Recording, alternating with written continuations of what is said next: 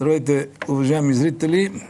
Времето започна да се оправя. Сигурен съм, че зрителите ми намаляват с пълно основание и аз да бях на тяхното место и аз щях да предпочита природата и слънцето пред затворените помещения и телевизорите. Но въпреки всичко, пак ви поздравявам с добре дошли в предаването Дневниците на уфолога на Българска национална телевизия СКАТ. И естествено съм ви приготвил една много изненадваща тема, съвсем непредвидена дори за мене, защото в офиса ми, благодарение на докторът на богословските науки, господин Константин Златев, повечето от вас го познавате, той е тук в момента, бе доведен един много интересен български автор, човек на средна възраст. Ще ви покажа какво ми, каква книга ми донесе. Може ли да я покажем? Коя камера? Средната или крайната? Айде, снимайте я.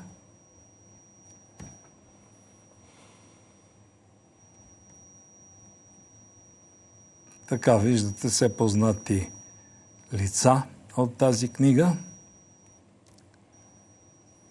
Заглавието Законите на един дървен шоп за устройството на природата и на човека и закона за стараенето. Сега, на нас ни звучи така близко до житието и, е, както се казва, когато се спомене думата шеп, шоп, горе-долу започваме да го избиваме на жеги, но книгата не е шеговита. Тя е много сериозна. Има и още нещо. Нещото е, което ще ви кажа, уважаеми зрители, заглавието на таз вечерното ми предаване. Ето, сега ще го изпишем. Що се забавяме? Нали го написахме? Айде ще ви го кажа. Ванга срещу Айнштайн. Не знам защо, нали го изписахме. Както и да е. Значи, един от гостите в студиото ми се казва господин Геннадий Григоров, който, който е написал тази книга.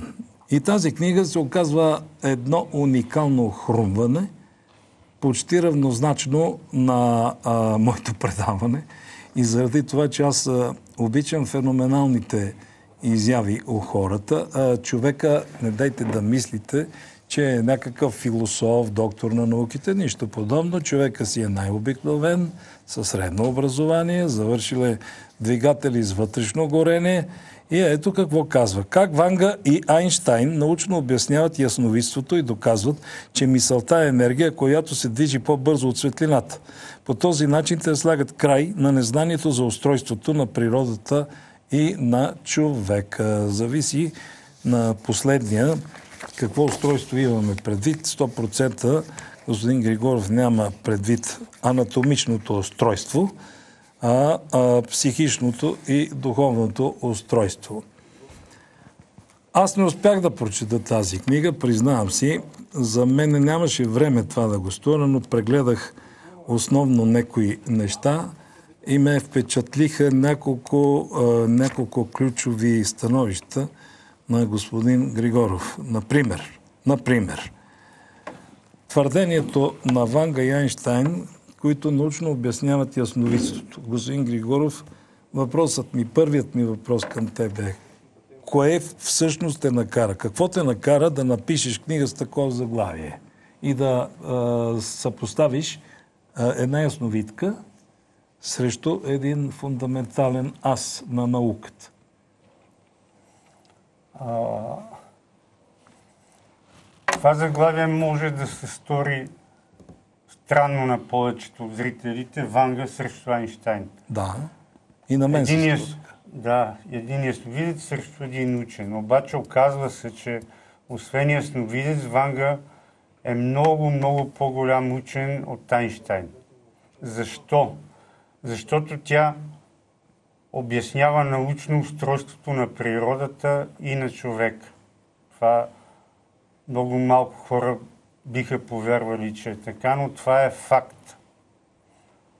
Два са основните научни проблема, за които се твърди, че на този етап науката не е решила. Първият проблем това е какво устройство на природата И втория проблем това е какво точно представлява съзнанието.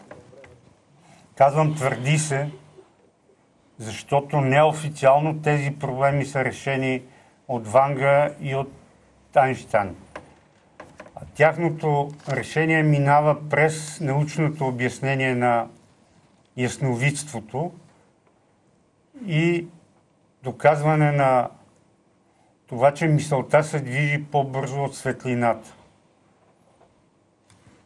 То, между другото, това, че мисълта има много по-висока скорост от светлината, са го знаели и древните народи, знаели са го учителите от древни времена, включително и нашия учител Петър Дънов е говорил по тия въпроси, но всъщност казваш, че Ванга е по-напред във вижданията си за устройството на природата. Ти от какво съдиш? Смисъл, а, Леля Ванга не е писала книга, нито пък нейните биографии са слагали акцент върху устройството на природата. Възоснова на твърдения на Ванга. Това нещо, за да го заявиш и то директно чрез книга, какво имаш преди На какво се базираш? Значи аз съм ходил няколко пъти при Ванга, точно да питам на тая тема, как е устроена природата и човек. От една страна, от друга, книгите, които в последствие бяха публикувани с спомени от нейни близки, които са задавали съответните въпроси и се оказва, че тя е дала отговор на тия въпроси, като този отговор е гениално прост. А, какво е основното в устройството на природата и на човек? Природата е изградена от физика и от психика. Това всички го знаем. Ние знаем какви са свойствата на физиката. Но това ваше твърдение, че се знае, че мисълта се движи по-бързо от светлината, не е научно доказано. Официалната наука в лицето на Айнштайн – казва, че не съществува явление, което се движи по-бързо от светлината. А религията е градена на основата на вярата. Тя казва, че съществува духовен свят и физически свят, но това е вяра. Това не е научно доказано. А, за да докажем, че мисълта се движи по-бързо от светлината, трябва да разгледаме какви са основните свойства и качества на мисълта. Основното свойство на мисълта, това е способността и да си представя при обикновените хора и да вижда с точност при ясновидците от а, ранга на Ванга картини и бъдещи, настоящи и минали събития. Какво значи това? Например, в съседната стая имаме а, подредени под предмети по някакъв начин. Аз може да предполагам какви предмети има, но това предположение няма да бъде точно. Докато сляпата ясновидка Ванга може да с силата на мисълта да влезне в тази стая, да види какви предмети има и как са подредени точно. Също така, тя може да види бъдещи събития. Например, през 1980 година тя вижда с точност и казва, че 2000-та година ще потъне Курск и целият свят ще го оплаква. Това се, се вижда много странно на съвремениците, но 2000-та година подводницата Курск потъва и целият свят я оплаква. Екипажа загива. А, аз също съм свидетел на това изказване на Леля Ванга тогава. Тя говори за Русия предимно и каза така. И Русия ќе се оправи при княз Владимир. И после добави. И Курск ќе потане. Всичките изпаднахме в ужас. Как така? Ние имаме предвид, визираме предвид градчето Курск, града Курск. Нали така? Да, Никой не е знал до тогава, само специалисти в това във военно отношение, че имаме подводница Курск. И кой да се сети, въпреки че е близко до окъла, щом нещо ще потъва, може пък да е, може пък да е, може пък да е кораб. И ето, каза се това нещо. И а, аз първо искам да те поздравя с а, а, това твое изследване, което си го изложил в книгата за Леля Ванга, защото в интерес на истината ние българите много дължим, дължим на Леля Ванга. Нищо, че са се опитвали доста да я да описват неща за нея, които, сред които има и измислици. Както се казва, всеки автор има право на 30% авторски, авторско право, но руснаците имат по-голям дял по отношение представянето на феноменалните способности на Леля Ванга. Те просто я боготворят, защото са направили уникални филми за нея, направили са изключителен уважителен реверанс към нея и от страна на космонавти, и от страна на руски учени, и от страна на политици, които са гостували в България и преди, когато тя беше жива, и сега, които недвусмислено са изказали едно изумително уважение. Аз, когато бях в Нью Йорк, видях а, два плаката за два различни филма, руски филми. А, Ванга, пророчицата българска или българската пророчица, които бяха тиражирани на, на DVD-та.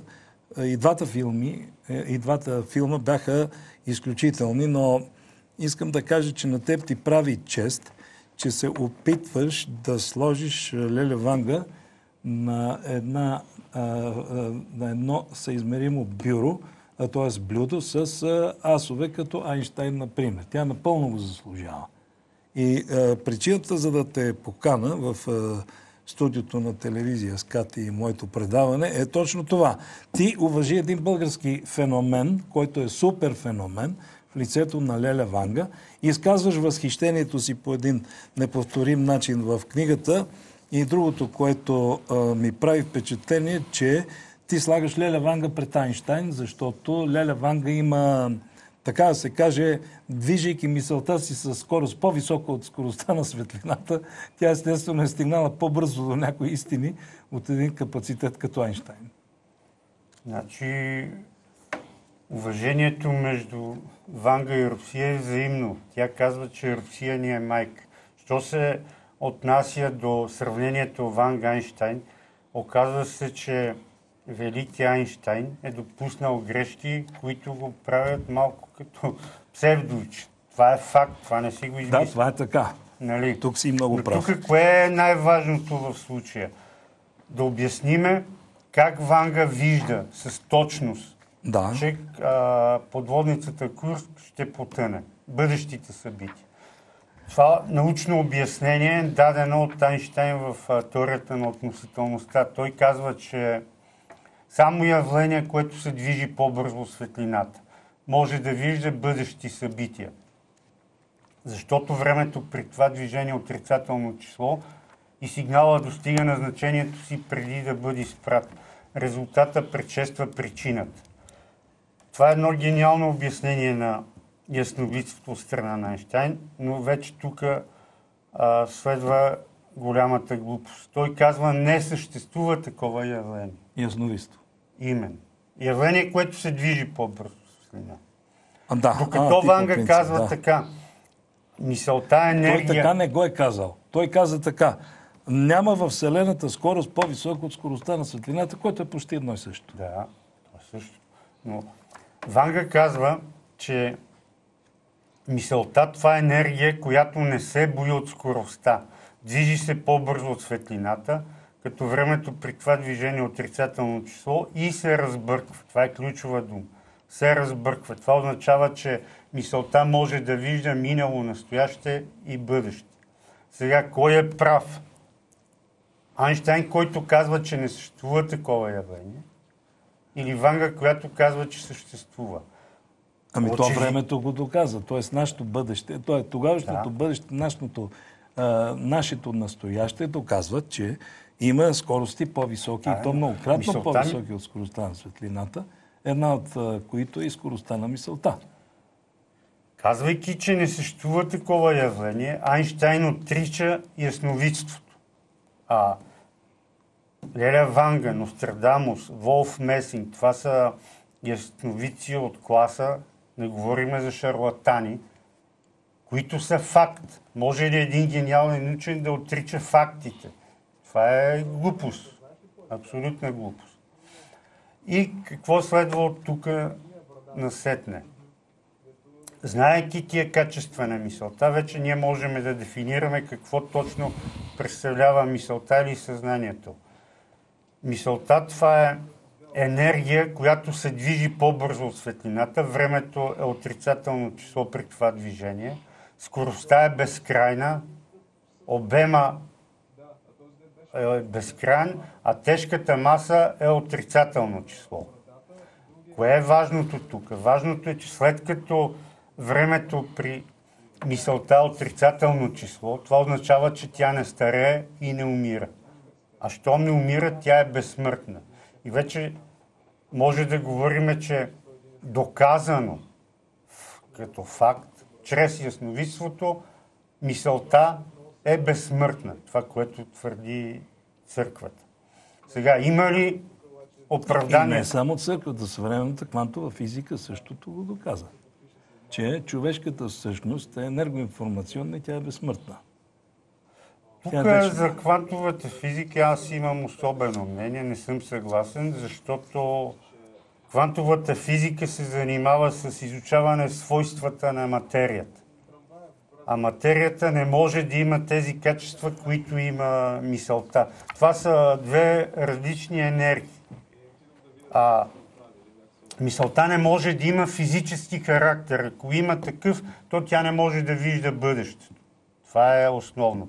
Значи имаме духовен свят, който се движи по-бързо от светлината и е безсмъртен и физически свят, при който времето винаги е положително число, който старее и умира. Човек е изграден от физическо и духовно тяло. Духовното тяло не старее и не умира, а физическото тяло старее и умира. Това са основните неща. А квантовата физика с а, изучаване на материята няма как да обясни ясновидството. Не е верно, че квантовата физика се занимава с материята само. Квантовата физика изследва един а, фундаментален феномен, чисто енергоинформационен, че а, нещата в Вселената са изградени, както се казва от микрото преминаваме към макрото и от макрото към микрото, което означава, че и двете представляват една и съща субстанция, която не е материална. Тя е енергоинформационна. И тази енергоинформационна субстанция има матрични структури. Матрици в матриците, матрици в матриците. Тоест, квантовата физика успя да направи един невероятен пробив – още през 20 век, от средата на 20 век до края на 20 век и продължава сега, който, който ни дава една съвсем друга картина за Вселената и че това, което ние наричаме пространство, пространство и време, тя го обяснява много по-точно с конкретно допълване и емпирични доказателства. Плюс това, квантовата физика – добави а, понятия като енергоинформационни същности, енергоинформационни матрици, а, пространство, времеви връзки, а, тунелни време, пространство, времеви връзки и още един куп неща, включително и квантовия преход, който се изразява на макро равнище в Вселената. Аз не знам, ти чул ли си, че ние в момента се намираме в края на едно събитие, което се нарича великият космически преход или квантовият преход в Вселената, който завършва, ще завърши, някои дават различни години, но за нас толкова годините не са важни, колкото самата същност на събитието. Значи, фактически, квантовите преходи са много. Те върват, както се казва, един след друг.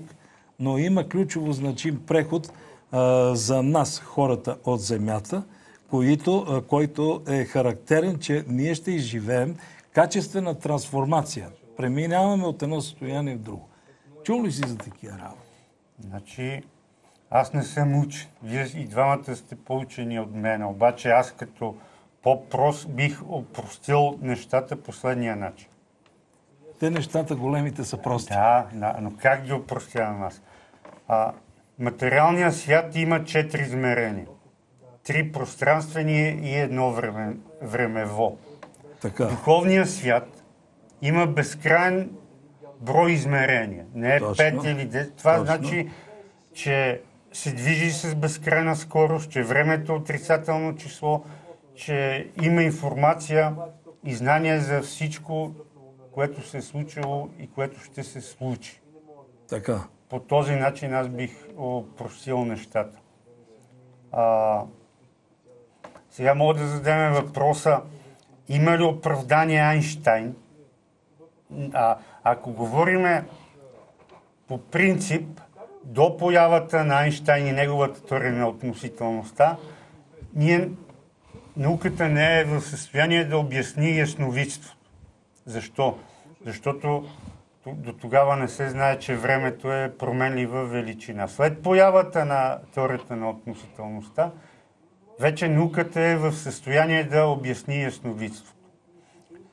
Айнштайн не е познавал Ванга, не е познавал Нострадамус и може да кажем да има някакво определение. Обаче, оказва се, че той е познавал Фройд и Волф Месинг и е бил близък приятел с тях.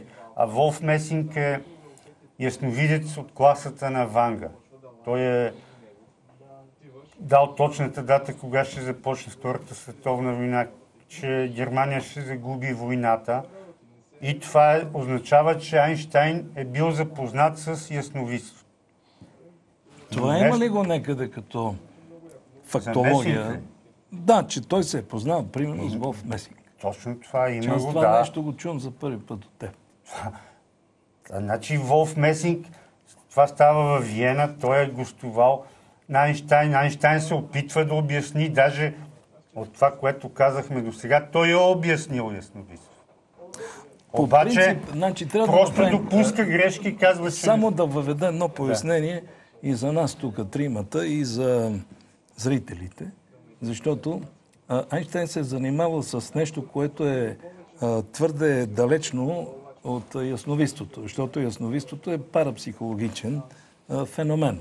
Айнштайн се е занимавал с съвсем други работи. На него изобщо не му е било до ясновидство в онова време. Той е бил а, фундаментален учен, който е станал на и носител на Нобелова награда, който е доказал нещо много важно, че а, гравитацията влияе върху светлината и че и, и може да я изкривява. И другото, че а, което а, го оспорват много учени, че теорията на относителността, както той я е формулирал, има пропуски. Кой, кой няма пропуски? Айнштайн е човек, той не е Бог. Въпросът е, че в постановката му, или по-точно в неговите научни постановки, той е бил далече от ясновидството. Това не му е било на прицел, не е, не е го поставил на снайпер. Аз съм бил, аз съм 100% сигурен, че той щеше да мотивира явлението ясновидство, ако беше се занимавал с него. Щеше да му даде една качествена определеност като учен от а, такъв ранг. Но той никога, пак подчертавам, не се е занимавал с този феномен от чиста научна гледна точка да го анализира като учен от така ви- величина. Така че ние Значи- малко а, не трябва да го обвиняваме. Тук не съм съгласен, защото ако тая информация, която аз я взимам по интернет е верна, но това, което съм чел, че той е личен приятел с Месинг. Месинг е изнасял а, в зали като представления, в които демонстрира своите ясновидски способности. И Айнштайн като близък приятел е направил опит да го обясни. Но факт, той фактически го обяснява, но просто не го разбира, че, го, че е обяснил това явление. Тук според... Имаш ли- Това може да се провери, аз спомен- не си го измисля. Имаш ли спомен точно какво обяснил? Кратко така да, да кажеш. Значи Айнштайн По повод Волф Меси.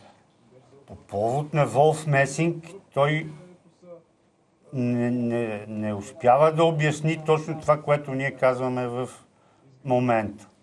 Но на, научно, чисто научно гледна точка, той казвайки, че явление, което се движи по-бързо от светлината, може да вижда бъдещето, точно това е научното обяснение на ясновидството, дадено от а, Айнштайн. Така че той Ами ти си противоречиш тогава. къде Той казал ли е това явление, което може да се движи по-бързо от скоростта на светлината, вижда бъдеще? Точно това го каза, това следва. Еми, значи той, той е изчерпил въпроса.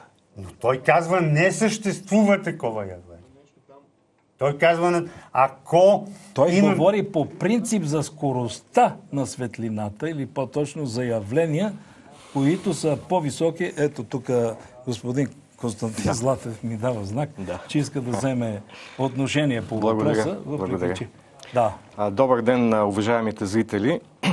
Искрено се радвам, че отново сме в, заедно в ефира на Националната телевизия СКАТ и можем да разискваме проблеми, които вълнуват всички нас и които имат общо човешко значение.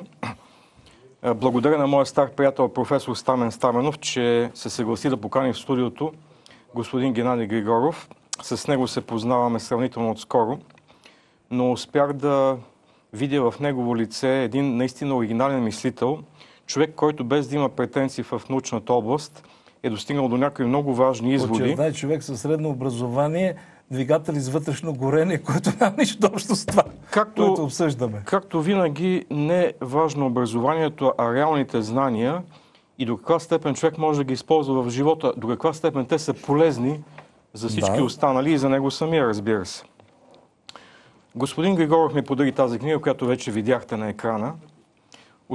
Прочетох я с повишено внимание и останах наистина изумен от дълбочината на неговата мисъл, от това как по един наистина нестандартен начин той навлиза в територии, в области, които остават недостъпни за много от учените за цялата съвременна традиционна материалистична наука?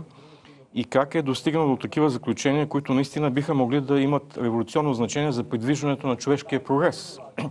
И едно от задачите на нашето предаване е тук да се опитаме да анализираме тези негови постижения, които са безспорни, да ги представим по един достъпен начин, за да могат да достигнат до съзнанието на уважаемите зрители като в хода на дискусията прецизираме неговите постановки. Що се отнася до дилемата Айнштайн-Ванга, безспорно е това, което каза господин Григоров до тук, че Айнштайн формулира по един наистина много задълбочен начин ясновидството като следствие от това, че скоростта на мисълта превишава тази на светлината. А той е изтъкнал, че това явление не съществува, имайки предвид материалния свят. Защото именно в материалния свят, според общ- общата и, специалната теория на относителността, не съществува явление, което да надвишава скоростта на светлината 30 000 км в секунда.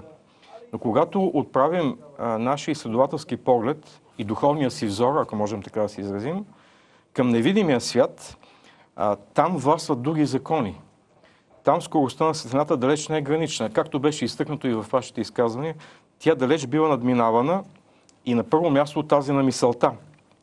Следователно, Айнштайн, поне по мое скромно мнение, е имал предвид, че това явление не може да бъде осъществено в рамките на материалния свят, на физическото поле, казано това е- на езотеричен език. Това, това имах предвид. и А аз. пък в областта на духовния свят мисълта може да се движи на практика с безкрайна скорост. И от тук идва, може би, известно разминаване между двамата. А, това, което е важно да подчертаем, че господин Григоров извежда някои много важни закони. Някои от тях той споменава в своите изказвания до момента. Законите за устройството на природата и на човека. Има формулиран от него и закон за стареенето и така нататък. Той се базира на изказванията на Ванга, на своя собствен опит, на своята любознателност, на това, че е изучавал различни науки по собствен начин, със собствени средства. И в а, своята мисъл той е обобщил много от тези знания и е достигнал до съответни изводи. Те са най-ценното от книгата му и от неговия личен житейски опит до момента. Аз лично се отнасям с огромно уважение към постиженията на господин Григоров и затова си позволих да предложа той да бъде наш събеседник в това предаване. И мисля, че от трибуната на едно толкова популярно предаване като Дневниците на уфолога, то има своето място да бъдат предлагани такива идеи, да бъдат обсъждани, да бъдат разкривани такива тайни. А, ние не можем да си въобразяваме, че ще достигнем до окончателен отговор на такива въпроси като устройството на природата и същността на съзнанието, но ние в своя а, път на знанието, който е неделима част от духовния път, достигаме на определен етап до все по-ярко изразяване на истините за тези явления. Правим нова качка напред, достигаме до един по-ясен, по-конкретен, по-точен образ. И това е именно смисъла на, на нашето придвижване по духовния път, който е път на знанието. Това е смисъла на цялото духовно-нравствено развитие на човек. То представлява един непрекъснат стремеж да се открият все нови и нови истини за космоса, за Вселената, за самия човек, а в самия човек фигурира цялото налично познание в неговата душа. Затова древните, в лицето на великия посетен Орфей, издигат девиза Познай себе си, за да познаеш Вселената и боговете. Познавайки самите себе си, своето божествено начало, ние ще достигнем до отговор на всички най-важни въпроси на битието. Господин Григоров е достигнал до някои от тях и аз с най-голямо уважение и признание се отнасям към неговите постижения. Господин Григоров, тук ми прави впечатление на корицата на книгата си сложил и портрета на Леля Слава. Запознат ли си пък с нейните способности? Частично да, но лично според мен, ако сравняваме духовната мощ на Ванга и на Слава Севрукова, според мен Ванга е на по-високо ниво. Но ако е възможно две думи по отношение на това, което каза Да, разбира се. а, господин Златов. Тук аз нямам някакви претенции, че аз съм измислил нещо. Напротив, това, което го има в книгата, това аз го взимам на готово, казано от Ванга и от Тайнштайн. Ако имам аз някакъв принос, то това е, че сравнявам казаното от двамата. Нищо особено не съм направил аз а, като наука, е, от една страна. Второ, което смятам, че трябва да се каже, че а, аз доколко съм чел това, което е казано от а, Ванга и от Айнштайн, че Айнштайн по принцип отрича съществуването на явления. Не става въпрос само в а, материалния свят или в духовния свят. Той отрича съществуването на явление, което се движи по-бързо от светлина. Той казва и друго. Той казва, че не вярва в безсмъртието на човешката душа. Това е цитат, не знам от коя книга беше, но по принцип той казва, че не вярва в това нещо. А оказва се, че той го доказва със своите теории. Безсмъртието. Да. Значи той си автопротиворечи. Значи това са... Господин Злата ще каже А, нещо. господин Григоров, като всеки качествен човек, е твърде скромен, затова а, би трябвало да признаем, че сравнителният анализ, който той е извършил, сам по себе си представлява принос. И то Да. принос в научната област, защото той а, търси и намира пресечната точка между материалистичната наука, духовното познание и съвременната философия. Това не е лесно. Това може да бъде постигнато само от един остър изследователски ум, какъвто той очевидно притежава. Що се отнася до Айнштайн, той е гениален без всякакво съмнение, но той е работил в областта на традиционната наука. Физиката. Знаем, че в последните години от живота си прави много сериозни опити да обедини своята теория на относителността с квантовата механика, за да създаде единно, единна теория на полето. Не успява. Това е задача на съвременните учени, които са направили вече доста крачки в тази насока, без да са дос- достигнали до края на резултат. А, той малко или много е бил ангажиран с постиженията, с казусите, с законите на материалистичната наука. И затова, когато той извежда подобни заключения, те са свързани именно с нея. Те малко или много а, проистичат от тази материалистична наука и обясняват нейните постулати. Той не си е поставил за цел да обяснява духовния свят, както и господин професор Стаменов преди малко изтъкна, защото това не е било негова научна задача. Неговата научна задача е била да открие основни закони на физиката. Той ги е открил и с, с това е променил мирогледа на цялата Да, научна така е. общност, на Точно. целия свят. Това го определя като гений. А ако той беше съсредоточил... Господин Златев, това Да. от една страна, но от друга страна, имайки предвид, Айнштайн е бил дълбоко религиозен човек. Абсолютно. Как може един дълбоко религиозен човек да отрече или да, се, да посега а, абсолютно профански по темата за безсмъртието на човешката душа? Неговата вяра в Бога е доказана и тя фигурира във всички сериозни биографии на Айнштайн. Той наистина е бил дълбоко вярващ човек. Абсолютно. Затова аз лично не мога да приема, че е отхвърлил безсмъртието на душата, защото да си вярващ означава, че приемаш две основни положения. Първо, че съществува Бог Да. и второ, че душата е безсмъртна. Безсмъртна. Това е, са основни положения, основни казуси във всички световни религии. Точно така. А, но това е друга, друг вид дискусия, която може би сега не е Аз не искам да правя дискусия, просто за мен казвам, че е странно. Защото това, което господин Григоров казва, аз съм очуден. А неговата вяра е демонстрирана в много от неговите изказвания. Например, Хайнштайн заявява, цялата Вселена представлява един съвършен часовников механизъм. Нека да си отговорим, кой е часовникарят. Естествено, става дума за Бога. За Бога, да. Той казва още, науката куца без религията, религията е сляпа без науката. Точно така.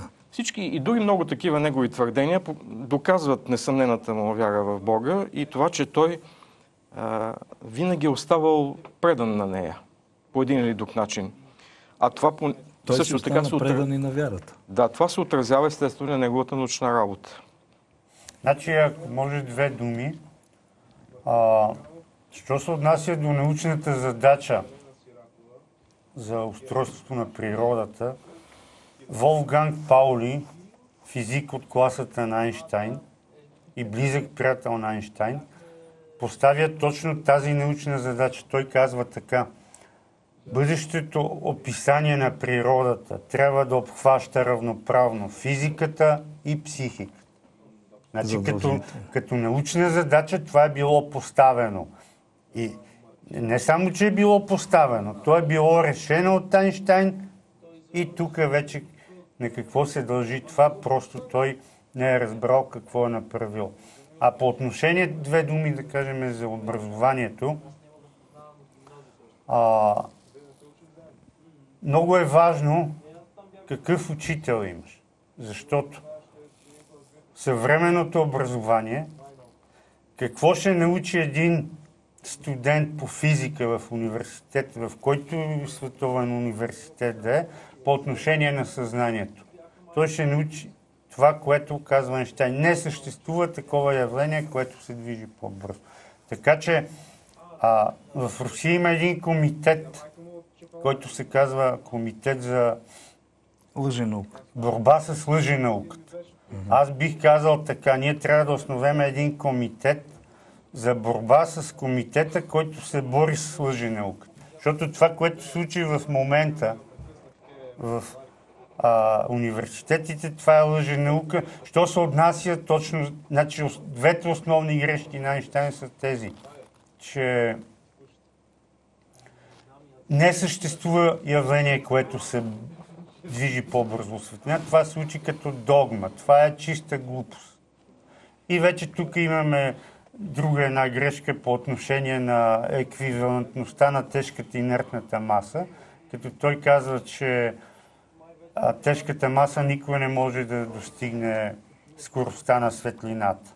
А това означава, ако това е верно, че тежката инертната маса не са еквивалентни и означава, че Слънцето, което излъчва светлина и един протон, един водороден атом, който се ускорява, той не би достигнал скоростта на светлината. Ако тези а, тежката инертната маса са еквивалентни, това означава, че Слънцето не би трябвало да излъчва светлина. Това е вече неописуема. А, Но затова няма да го засегаме. Мисля, че е важно да концентрираме вниманието си върху това, което определя Айнщайн като ге- гениален учен, какъвто той безспорно е. Естествено, най-популярната му, най-популярният му принос, това е теорията на относителността, с която той доказа, че нашия свят е относителен. относителен е материалния свят, а не духовния. Духовният е абсолютен, Точно. защото той представлява едно пряко отражение на Божественото, докато физически е просто една бледа сянка, която в индуистката философско-религиозна мисъл се нарича майя, великата иллюзия на материалното битие. Вие споменахте Волфганг Паули, той заедно с а, Вернер Хайзенберг формулират принципа на неопределеността, който по значение не само допълва теорията на относителността, но представлява също толкова сериозен принос към напредъка на физическата наука и на нашето знание за света. Тоест, Стойността на един учен, неговия принос се определя най-вече от това до каква степен е повлиял на мирогледа на цялата научна общност и на своите съвременици, а също и на бъдните поколения. В това отношение Айнщайн наистина е дал нещо твърде значително, защото той ни помага да разберем, че живеем в свят, в който всичко е относително. И че ако желаем да се докоснем до абсолютното, то трябва да се съединим с Бога.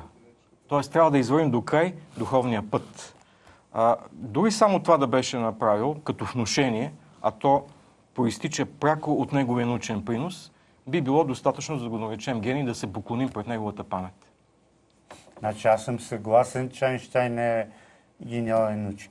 Но ако той беше казал така, мисълта е явление, което се движи по-бързо с нас, всичко си идва по местата и се слага край на въпроса как е устроена природа. Но той не го е Аз бих изследвал. желал да засегнем един основен проблем.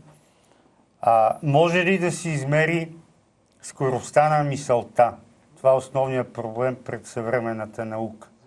Значи, с материални измервателни уреди ние не можем да измериме безкрайна скорост, безкрайен обем, отрицателно време и отрицателно тегло. Но имаме непряк начин, с помощта на който може да измериме скоростта на мисълта. Например, ако си представиме една магистрала и в а, а, едната в дясното платно с три ленти се движат три автомобила, един от в средното се движи с 100 км в час. Той изпреварва тези от дясно, които се движат по-бавно от 100 км, бива изпреварван от тези, които се движат по-бързо. Основното тук в пример е, че това скоростта от 100 км е един еталон, който ни дава възможност да установиме, че едните автомобили се движат по-бавно от 100, а другите се движат по-бързо от 100 км. В случая ние не можем да кажем точната скорост. Да- Дали е 50 или 60 или е 120 или 200 км. Важно е, че едните се движат по-бързо, другите по-бавно. Ако вземем един светлинен лъч и един мисловен лъч и ги сравниме, ние знаеме, че светлиният лъч се движи с 300 км в секунда. Хиляди. 300 км в секунда, да. Този светлинен лъч не е в състояние да отиде в бъдещето, да кажем утре, да види какво ще се случи там, да се върне и ние да знаеме какво ще бъде в а, Бъдеще. това утре. Докато мисловният лъч отива в бъдещето, вижда какво ще се случи при ясновидците, връща се и те знаят какво ще стане. Значи това доказва, че мисълта не е продукт на мозъка и процес, който протича между невроните с скорост от 300 км в секунда. Скоростта на светлината. Нали? А това доказва, че мисълта е процес, който се движи по-бързо от скоростта на светлината с безкрайна скорост. И това означава, че след като времето е отрицателно число, мисълта е безсмъртна. И доказва, че съществува безсмъртен духовен свят и че съществува Бог. Точно. По, по отношение на това, че а, религията а, признава феномена ясновидство и ванга, но те казват откъде идва тая дарба, от тъмните сили, от дявола или от светлите сили, от Бог. Значи, може ли едно явление, което, а ясновидството доказва съществуването на Бог, може ли явление, което съществува, което доказва съществуването на Бог, да идва от тъмните сили, от дявола. Това не е възможно. Значи тук религията бърка. религията, ако сравняваме времето, тя е на, по отношение на знанието за устройството на съзнанието, е на нивото на, от времето преди Коперник, когато са смятали а, геоцентричната система, че Земята е център на Вселената. Същото въжи и сега. Те казват, че дарбата на Ванга е от а, дявола. Това трябва да се коригира. Не знахме като- без да искаме. Но, но все пак силата на Римо-католическата Златев. църква се извинила официално за процеса срещу Галилео Галилей, макар и с 4-5 века закъснение. Господин Григоров, вие донесахте тук две фенерчета в нашото студио. Бихте ли ни обяснили защо, с каква цел ги донесахте? Значи целта е следната, защото много хора казват при определени хора мисълта на едни хора се движи по-бързо, на други по-бавно. Значи това е много грешно твърдение. Мисълта при всички хора се движи по-бързо от светлината с а, безкрайна скорост. Какво означава това? Имаме две фенерчета. Едното е с по-малка мощ на батерията, то може да освети, да кажем, разстояние до 1 метър. Другото с по-голямата мощ може да освети разстояние до 10 метра. И в двата случая светлината се движи с 300 000 км в секунда. Разликата е в мощността на светлиния лъч, в силата на. Същото се отнася и за светлината. При обикновените хора мисълта се движи, при всички се движи по-бързо от светлината. Но при обикновените хора мощността на мисълта е много по-малка и те може да виждат много по- Ограничен. наблизко и ограничено, отколкото това, което може да види Ванга или Волф Месинг. При тях а, мощността на духа е огромна. Но според мен, ако това, което говорим, се възприеме и бъдещите хора, а, развивайки се физически и духовно, всички ще развият а, ясновидски способности. Това е бъдещето, според мен, на Да. човек. Да, така, така е. че мисълта се движи по-бързо от светлината. Само Безспорно. мощността е различна. Безспорно. Тук в своя коментар, моя стар приятел, професор Стамен Стаменов, преди малко използва понятието енергоинформационна връзка и същност.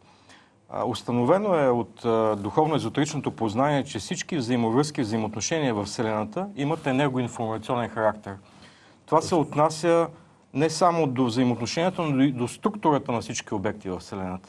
Тоест, дори самият човек, ако погледне на него, понеже тук беше засегнат и въпроса за структурата на Homo sapiens, той представлява една енергоинформационна система. Не е безразлично с каква мощност ще бъде енергията, която задвижва тази система. И вие по един, господин Григоров, по един категоричен начин доказахте, че мощността определя силата, посоката, достижението в определена насоченост. Което означава, преведено на езотеричен език, ако се опитаме да направим такъв превод, както беше в контекст споменато и в вашите изказвания, че когато човек се движи по духовния път, той придобива все повече знания, все повече опитности, нараства неговата духовна сила. Тоест, неговата енергоинформационна структура вече работи на по-висока частота с по-голяма мощност. Да. И той се докосва до все по-важни истини за битието, за самия себе си, за отношението си към света и така напредва а, все повече по този път към Божественото. Не случайно всички велики посветени от най-древни времена до ден днешен изповядват една основна истина. Всичко е енергия. И от това до каква степен човек може да придобива енергия, да я освоява, да я натрупва и да я използва, зависи и неговия духовен ръст. Зависи това до каква степен е полезен на самия себе си, на обществото, на човечеството като цяло, а и на космоса, защо не. В такъв случай аз си позволявам да отново да подчертая, че господин Григоров, независимо от своята скромност, е дал един съществен принос и неговата неспокойна мисъл няма да спре до тук. Уверен съм, че ще продължи да работи в тези насоки, ще даде нови постижения, нови приноси към научно и духовното познание и че може би ще ни предложи повод за една нова среща. Да, аз а, бих определено се радвал на такова нещо, както се радвам сега. Уважаеми зрители, прави ли ви впечатление, че докторът на богословските науки Константин Златев е интегрален учен? Той не е забил мощността, примерно както е това в Енерче, да го забие там и да ми свети само там. Той огрява една невероятна полоса от познанието и когато човек го слуша, се обогатява. Той се обогатява всестранно. Докато аз съм разговарял, господин Златев, с други богослови, трябва да ти кажа, че отблъскващата черта е доминанта, защото те са едни, как да кажа, не смея да кажа точната дума, те са зомбирани и автозомбирани от една концепция или да наречем парадигма, която има за цел да служи на един тесен кръг типове, не ги определям като хора дори, типове, които паразитират на, а, върху човешкото общество. Те искат тяхната власт да е неограничена. Те искат тяхната мощ да е, както се казва, като мощта на Бога и не дават друго мнение да прехвъркне като пиле. Това е... А защо това Затова е ти така? се... Аз знам защо е така. Да, това е много Аз затова ти се прекланям и затова знам, че такъв човек като господин Константин Златев е желан навсякъде, като лектор, като водещ, ако щете. Господин Златев може да бъде по-добър водещ от мен в една уникална сфера, наречена сферата на човешкото познание. Покланям се и на нашия гост, защото това е човек, който първо, нали, да мерим нещата по образование, както ги мерят в институциите. Ти нямаш висше образование, от тебе нищо не става. Няма да станеш е, да отидеш на тази работа и така натам. Значи, виждате, уважаеми е, зрители, че ние имаме отново е, миналия път аз говорих за гения на българите. Отново ще се върна на този въпрос. Българите имат уникалното качество да бъдат интегрални личности. Те имат уникалното качество да мислят. Защото в Западна Европа, особено в Америка, това свойство е дарба само на много малък процент от на, населението. Докато при нас, българите, е обратното и има и още нещо. При нас, славяните, аз мога да кажа, защото това не е чисто български феномен. Ние сме една широко скроена енергоинформационна матрица, от която наистина ще се роди едно истинско бъдеще. Господин Златов, искаш да кажеш нещо? Штамене, много ти благодаря за тези думи. Аз не заслужавам толкова висока оценка. Бих искал да изтъкна, че съм възпитаник на Българската богословска школа и се отнасям с огромно уважение към нея. В нея, уверявам ти, има изключително качествени хора. Мога да посоча мои преподаватели, мои колеги, които са ми дали много. Те са представители на по-старото поколение и на съвременно поколение. Разбира се, има и хора с по-ограничени възгледи. Така че аз отговарям само за себе си, не бих искал да обобщаваме, защото бихме могли да засегнем тези хора, които наистина заслужават почет Не, и, и признание. А, благодаря за това, което Ние каза. никого не засегаме, ние подчертаваме една обективна реалност, която в момента се фокусира. Питваме се да говорим принципно. Българската богословска школа е дала своя принос в, световна, в световен мащаб. Честно и- казано, за първ път срещам богослов, който говори интегрално за наука, за познание, за парапсихология, за, за уфология, ако ще. Уверявам те, че има и други богослови, които се интересуват от тази проблематика. Отделен въпрос е как я разглеждат, под какъв ъгъл я пречупват, И дали е страх да говорят. дали, да, дали остават верни на основния си мироглед и така нататък. Но има хора и в богословските среди, които се интересуват, прескачат границите на това познание, което са придобили и се опитват да надникнат отвъд него. Също трябва да уважаваме тези усилия. Това е много хубаво, Да. но въпросът опира до а, свойството или до способностите на личността да бъде интегрална. Да, това е доста Нали съществено, разбира се. Защото. Защото ние- живеем в такова време. Да. Това е времето на интегралното Времето, познание. Да, интегрално човекознание. Ние живеем в едно време, което е доста неспокойно, доста усъкатено и естествено, което е и доста манипулируемо. Това е времето, в което си подават ръка различните потоци на познанието, развиващи се от най-древни времена. Религия, официална наука, езотерично и духовно езотерично познание и философия, която се смята за царица на науките. Тези четири потока в наши дни се обединяват. изграждат именно едно интегрално знание и за човека, и за света, и за Бога, и за живота, въобще за всемирното проявление. И тази интегрална наука или интегрално знание, аз лично вярвам, че до края на този 21 век вече ще бъде определящо в планетарен мащаб. Това аз съм убеден категорично, че е така. Но аз, както се казва, не съм казал, но пак да повторя. Ако отидем с теб, приятелю, в а, синода, светия синод, и започнеш да говориш така, значи, а, богословие, Няма да ни допуснат. езотерика, примерно. Няма да ни допуснат. Ние сме анатемосани. Да. Ние сме анатемосани. Нали? Важно, важното е, а, Нали за не е важно дали сме въпрос? ана- анатемосни от синода, важното е пред Божиите очи какви сме. Това е. Това е най-важното, но в контекста вървим по диференциален ред. Аз ние... бих Да. искал да кажа две думи. Е, ще А- дам думата на зрителите. Това, което говориме до сега като знание, Да. не представлява някаква сложност. Това не е висша математика. Това са знания, достъпни за човек с, не с основно, а с начално образование. Сега възниква въпроса, защо официалната наука и официалната религия не вземат под внимание тези знания.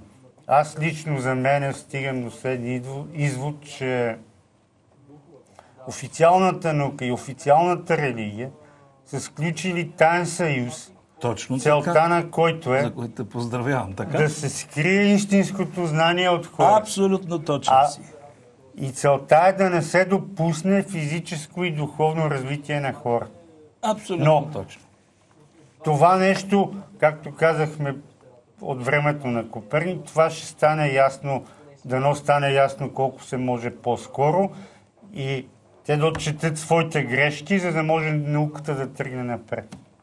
Нито науката в а, вида и в който тя се тиражира, в който тя а, съсипва и деградира младите поколения, нито пък религията от друга страна, като другата или дясна или лява патерица, нито пък те ще нанесат корекции в а, а, своето еволюционно развитие. Това ще стане след като целият свят е направил тая фатална крачка и е прескочил а, този жесток прак и стане друг.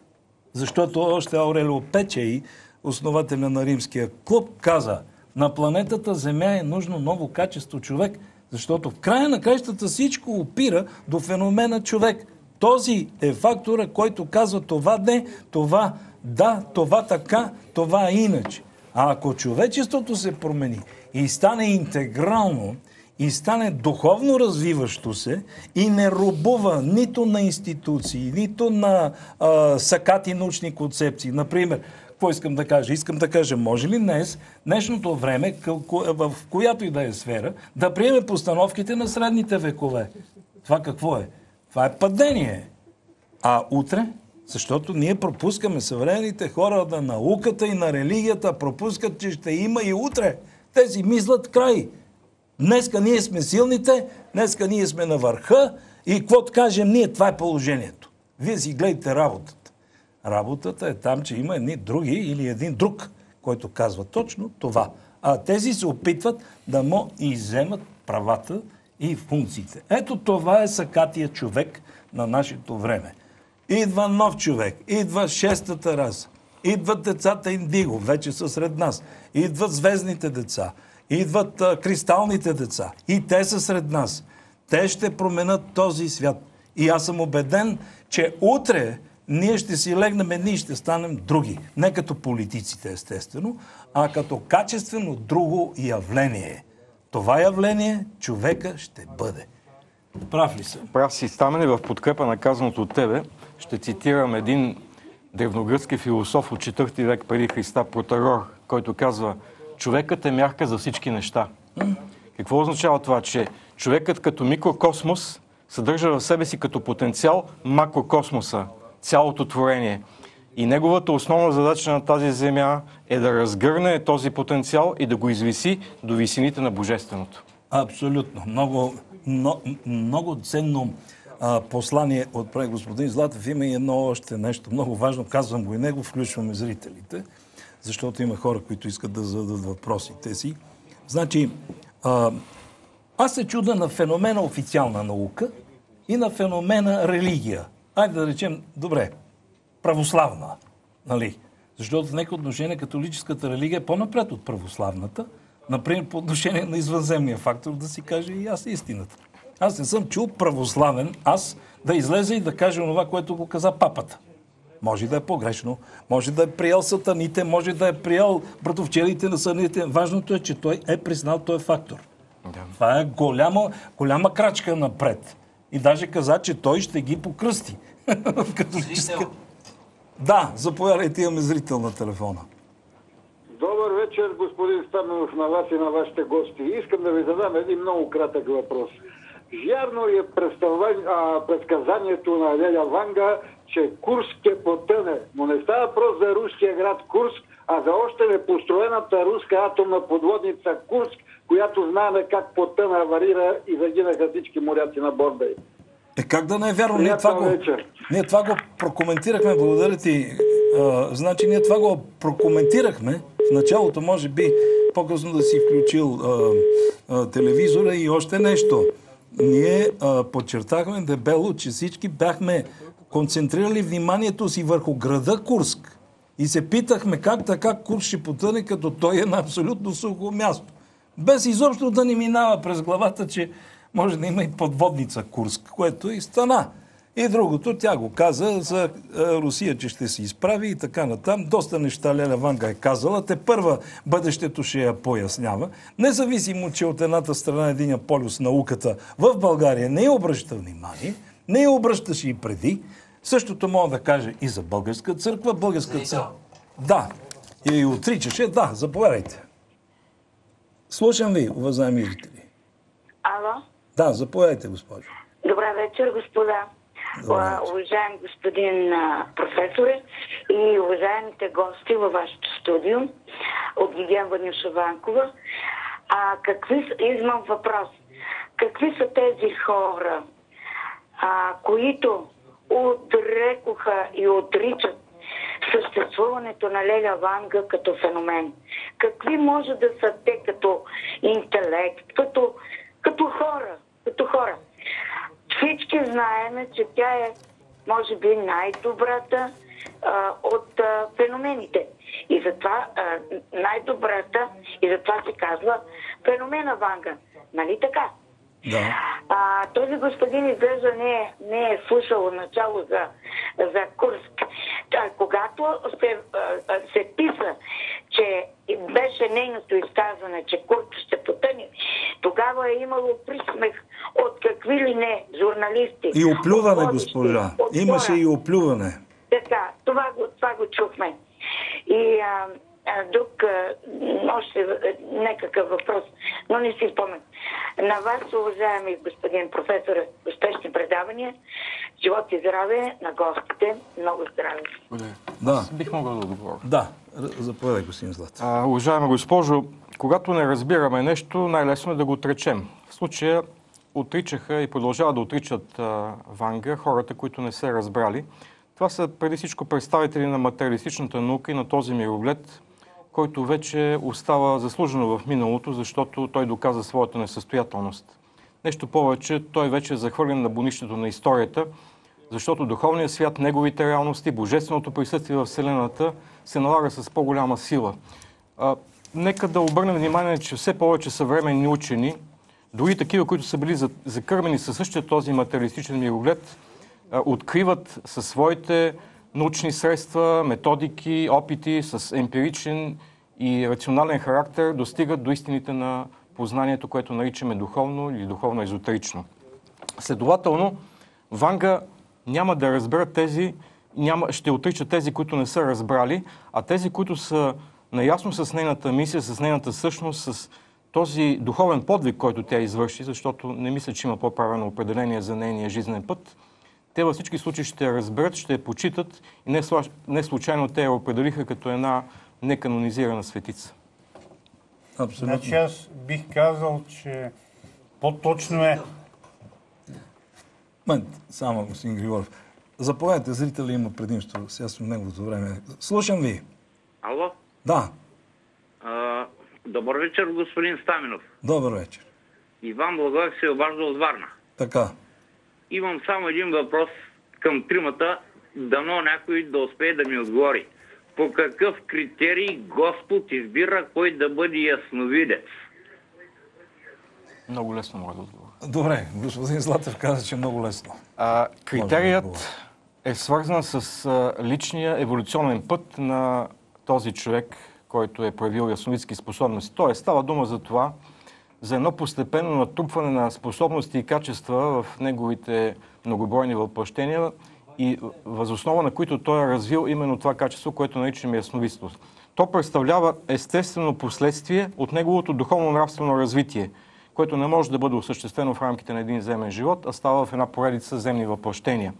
Следователно, не става дума точно за избирателност от страна на невидимия свят, а за една естествена форма на развитие на човека като личност, като същество, което има определени заложби, които то развива и изявява. А когато Бог избира някого за специална мисия, то това може да бъде свързано с ясновидство или с други качества, но то, то предполага една специална предварителна подготовка преди това същество да се появи в път на, на планетата. Аз бих искал да кажа две думи за това, че ясновидството и хората от а, класата на Леля Ванга са много рядкост. Но има два други феномена, които са масово явени, които също доказват, че мисълта се движи по-бързо. Това са така наречените дежавю и дежа реве. Вече е видяно и вече сънувано. Какво означава това? Всички хора сънуват, но имаме ясновидски или сънища видения, при които човек сънува нещо, което след това се случва точно така, както е сънувано. А, такиви а, сънища видения имат 90% от хората. Това, което човек сънува и след това се случва, не би могло да стане, ако мисълта се движи по-бавно от светлината. Това е основният въпрос, който съвременната наука не иска да разбере. Няма къде да, ходи. Това е доста, до, доста добро доказателство, според мен. Абсолютно. И най-кратко и най-разбрано. Да. А, скъпи приятели, аз ви... Да, отиваме на финал. Аз ви благодаря най-сърдечно, че уважихте поканата ми и предимно на господин Златев, че ме запозна с господин Григоров. Заслужаваше си, нали? Да, абсолютно. И че препоръча. Аз а, а, никога не съм съмнял в преценката на господин Златев, защото за мен това е една изключително стойностна, интегрална личност. Нищо, че той казва така и така за колегите си. Аз моето мнение си го поддържам. Благодаря ви за вниманието, уважаеми зрители. Мисля, че останахте доволни, защото направихме една много интересна дискусия върху един много съществен феномен, който, на, на който науката дължи все още доста. До следващия път ще намеря също интересна тема, не се и съмнявайте. Живи и здрави!